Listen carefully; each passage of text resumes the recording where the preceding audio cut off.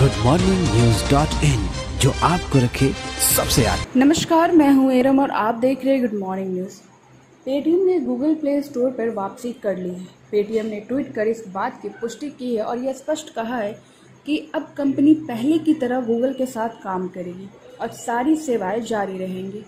आज दोपहर तीन बजे यह खबर जैसे ही सामने आई पेटीएम को गूगल प्ले स्टोर ने हटा दिया है। देश भर के लाखों पेटीएम यूज़र्स में खलबली मच गई है, लेकिन कुछ घंटों के बाद ही पेटीएम ने अपनी सारी सेवाएँ जारी कर दी है।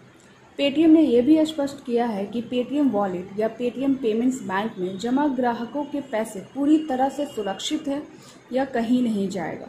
पेटीएम के अनुसार हम अपने एंड्रॉयड ऐप को रीस्टोर करने के लिए गूगल के साथ काम करना जारी रख रहे हैं।